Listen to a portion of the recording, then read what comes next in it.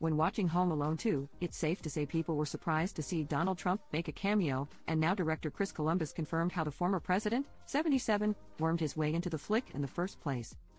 The businessman agreed to have the film, which stars Macaulay Culkin, shoot at his hotel, but under one condition. Like most locations in New York City, you just pay a fee and you are allowed to shoot in that location. We approached the Plaza Hotel, which Trump owned at the time, because we wanted to shoot in the lobby. We couldn't rebuild the plaza on a soundstage, Columbus said in an interview with Business Insider. Trump said okay. We paid the fee, but he also said, the only way you can use the plaza is if I'm in the movie, Columbus explained. So we agreed to put him in the movie, and when we screened it for the first time, the oddest thing happened people cheered when Trump showed up on screen. So I said to my editor, leave him in the movie. It's a moment for the audience. But he did bully his way into the movie.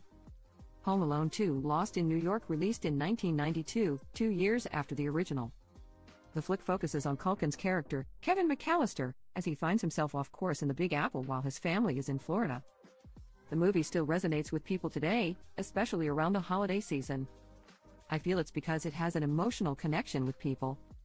Sure, people love to laugh and it's fun, but it's centered on a specific time of the year when people are hopeful and happy. I think it's the perfect movie for people to sit around the living room with your entire family and watch it, Columbus said. He added, and the John Williams score helps tremendously. When we heard John's score against the picture for the first time, it was overwhelming how emotional the movie became. It changed the movie, is all I can say. But it does make me feel really great to flip around the channels this time of year, and Home Alone is playing on one channel, and, by other directing slash producing efforts, Harry Potter is playing on another, and Christmas Chronicles is on Netflix. It's a strange but good feeling.